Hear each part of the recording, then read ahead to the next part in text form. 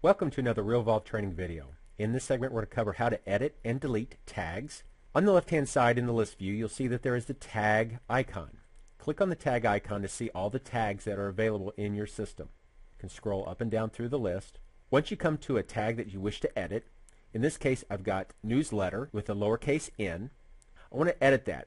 As you move your mouse over the top of that tag, you'll see that there are two icons that are now available. The little pencil allows you to edit this tag, and the X allows you to delete it. We'll click on the pencil icon and change the name to newsletter with a capital N and click on save. The system will refresh and you'll see that now the newsletter has an entry with a capital N.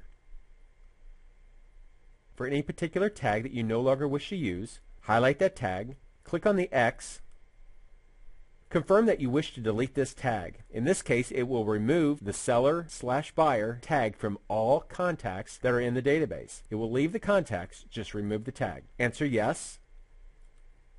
Once the system refreshes, all the tags that had seller buyer have now been removed. If you have additional questions, visit our website or send us an email, support at realvolve.com.